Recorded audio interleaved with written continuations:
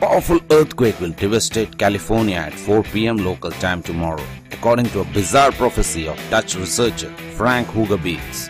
Hoogerbeets' YouTube video, which provides improbable scientific reasons behind this claim, has now been watched more than half a million times.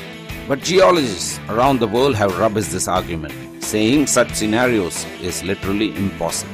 California is going into the sea, and if that's going to happen, Japan is also going to be battered by tsunamis that you just can't imagine, said Hoogerbeets during his 28 minute prophecy. Hoogerbeets, the founder and president of Ditrianum Media, uses a computer program called Solar System Scope to show why he believes a 9.8 earthquake will hit the region.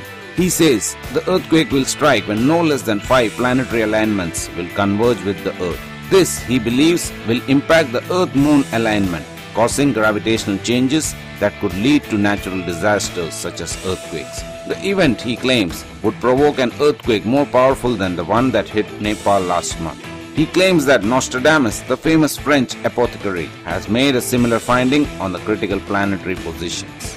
Hoogerbeets has tweeted a warning advising people in critical areas along fault lines in the world to be on extra alert around May 28. He adds, have an escape plan already.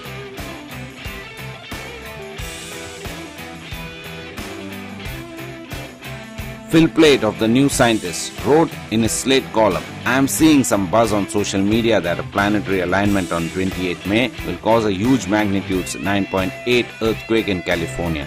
Let me be clear, no, it won't, it can't.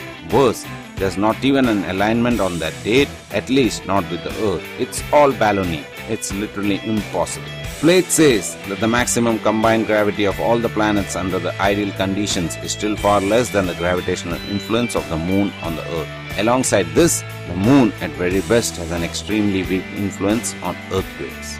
The change in its gravity over that time is still more than all the planets combined. Yet, we don't see catastrophic earthquakes twice a month, said Plait. The 1974 book The Jupiter Effect by John Gribbin and Stephen Plagemann warned that a similar event would take place in 1982. It never did.